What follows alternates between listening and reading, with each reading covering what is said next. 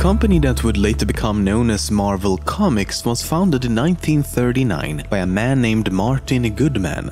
Back then, Marvel was known as Timely Publications and later Timely Comics. In its first year, the company released their first comic titled Marvel Comics issue number 1.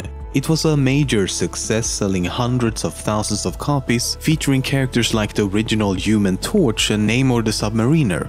These two characters, along with Captain America making his debut in 1941, would remain as Marvel's most popular heroes throughout its early history. Early on, Goodman hired a young man named Stanley Lieber, who would go on to create many of the most popular Marvel characters we know today. Of course, you most likely know him by his pseudonym Stan Lee. The 1960s saw the introduction of many teams and individual superheroes, anti-heroes and villains that would come to define what the company is today. Some examples are the Fantastic Four, the Avengers, the Hulk, Spider-Man, Ultron, Thor, Guardians of the Galaxy, Iron Man, X-Men, Doctor Doom and Galactus among so many others. In the coming decades, Marvel had its ups and downs and struggled to survive, due in part to a very unstable market, while also competing with its longtime rival, DC Comics. At the turn of the century, Marvel had some success with their live-action movie adaptations. Titles like Blade, X-Men, Spider-Man and Hulk would serve as the early instigators of the immensely popular and thriving superhero movie market we have today.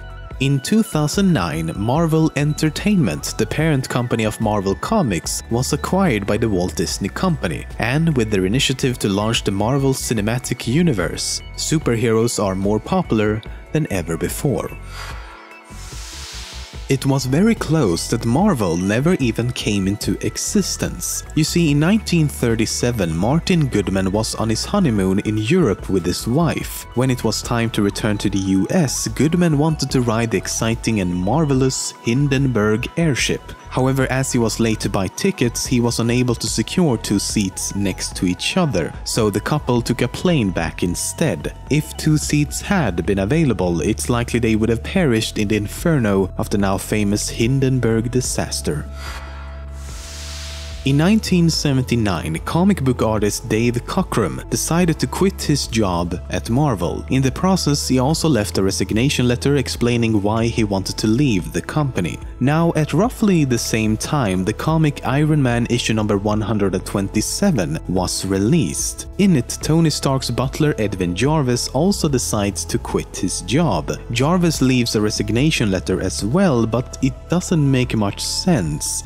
As it turns out, someone at Marvel decided to use the resignation letter left by Cockrum in the comic, the only difference being that he replaced the word Marvel with Avengers. Three issues later, the confusing letter was explained as a mistake, but some think it was more of a deliberate prank. No one's really sure how the letter ended up in the comic.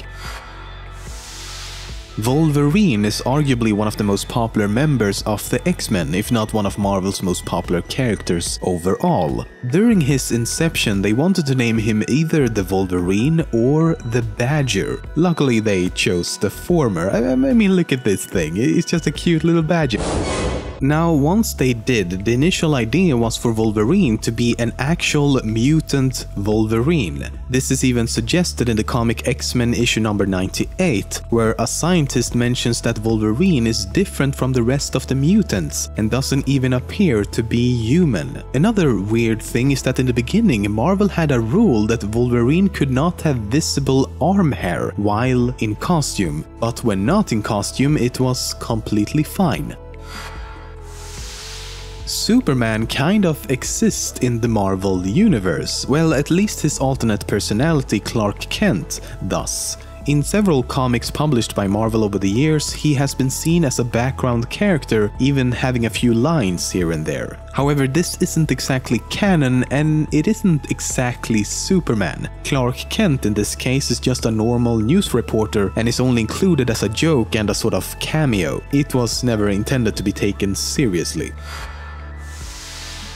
Something I have always wondered about is after an epic battle taking place in some fictional metropolis somewhere, who's responsible for cleaning up the mess these battles often leave behind? Turns out that Marvel has actually tried to answer that question with an organization appropriately called Damage Control. Damage Control is a large corporation that uses advanced engineering technology to repair anything from an entire city to the Avengers Mansion in a very short amount of time. For example, they were responsible for rebuilding New York after the event known as World War Hulk. I mean, it's a major suspension of disbelief, but hey, at least it's better than just because magic. In 1984, Marvel was doing extremely well. They had a market share of around 70%, with DC Comics at somewhere around 20. In fact, for many years, DC Comics had struggled financially. So in February of that year, the head of DC Comics' parent company, Warner Communications, called the president of Marvel because he wanted to give them the publishing rights for all of DC Comics characters. Eventually, they reached an agreement and Marvel was actually set to acquire DC Comics, along with all of its characters like Superman, Batman, The Flash and so on. The reason this never happened was because it would have resulted in Marvel completely dominating the industry with a staggering 90% market share, meaning Marvel could essentially do whatever they wanted without any sort of competition. Today Marvel and DC are at a more equal footing with other publishers like Dark Horse and Image Comics not too far behind.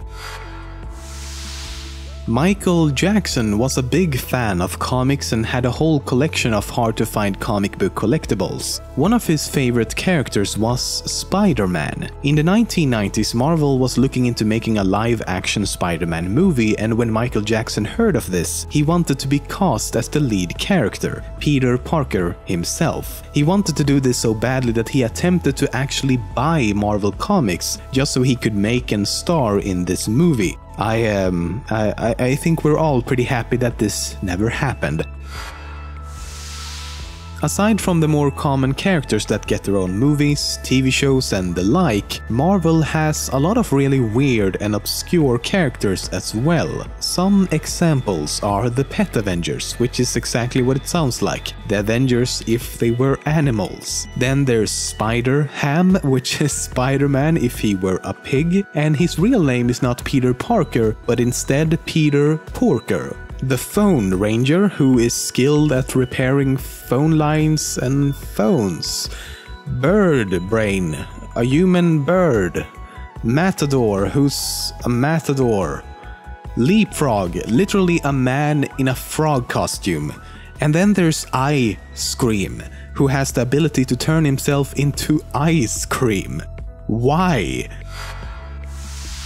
A large part of the X-Men storylines follow the characters' struggle to be accepted as ordinary people, how society sees them as freaks of nature and not humans, which makes it kind of ironic how Marvel spent years trying to make the case that X-Men figurines should not be considered humans. They did this to avoid a certain tax rule that would have cost them a lot more money. The rule essentially states that human-looking figurines should be defined as dolls, while non-human characters are defined as toys. Sorry Xavier and company, even your creator thinks you're less than human.